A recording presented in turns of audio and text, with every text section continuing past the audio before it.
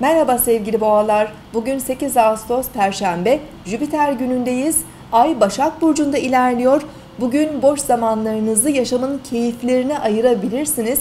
Karamsar düşüncelerden e, kaçınmaya çalışın.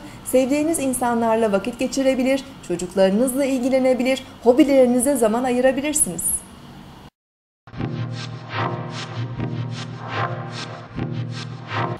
Burcunuzu dinlediniz. Bugün 8 Ağustos Perşembe, Jüpiter günündeyiz.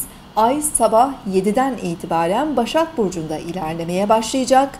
Güne çalışkan, düzenli ve titiz enerjiler verecek. Bugün birikmiş işlerimizle ilgilenebiliriz, eksiklerimizi tamamlayabiliriz, sağlıkla ilgili konulara daha fazla zaman ayırabiliriz. Sindirim sistemimizin e, hassas olacağı bir gündeyiz. O nedenle beslenmemize biraz daha dikkat etmemiz gerekiyor. Öğleden sonra Ay Satürn'e sekstil açı yapacak. E, sorumluluklarımızla daha rahat ilgilenebiliriz bugün.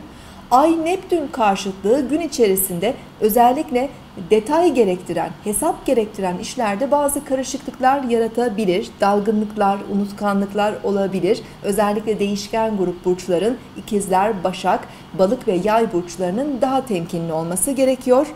Bugün e, Merkür bir süredir e, bulunduğu Yengeç burcundan ayrılarak Aslan burcuna geçecek öğleden sonra 15'ten itibaren. Merkür 24 Ağustos'a kadar Aslan burcunda olacak.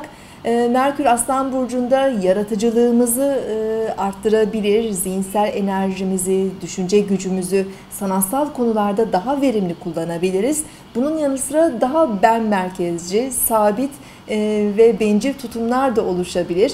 E, buna karşı temkinli olmak gerekiyor. Yarın tekrar görüşmek üzere. Hoşçakalın.